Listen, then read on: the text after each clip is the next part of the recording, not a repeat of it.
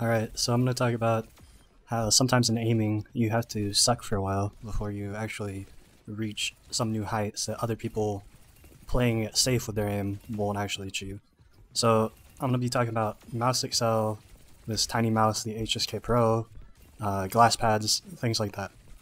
So I started off the video showing a little bit of the weak sides of what I'm currently doing, which is an ultra low sense with Mouse Accel. And the weakness that you can see is the reactivity is a little bit low, but sometimes I just completely can't physically track them. Like they go outside of my ability to track them.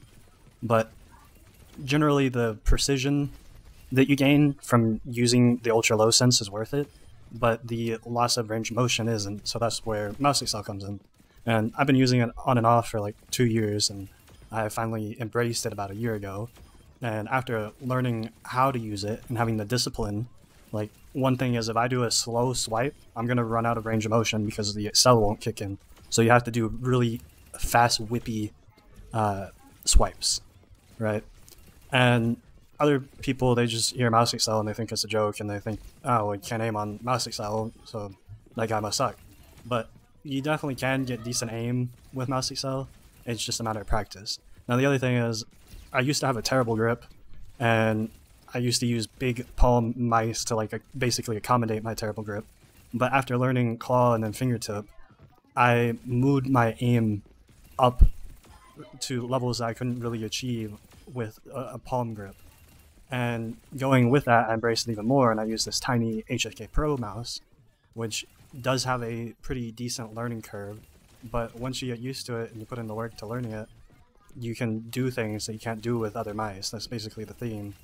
Is if you put in the effort, you can do things other people can't maybe do.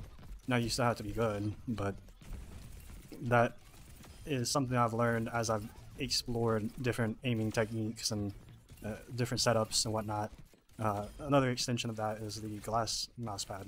That people say you can't really get stability or stopping power or whatever it is, but I found that once you put in the time, all those areas that people were concerned about turned out to be the strong suits.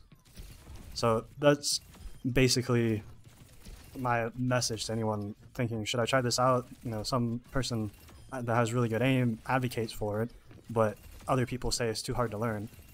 Go ahead and try it out, put in the work, think of it as training, even if you suck for a while, and maybe you'll come out with better aim on the other side. But basically take risk with your aim or you'll never get anywhere. Uh, that's the sum of this video.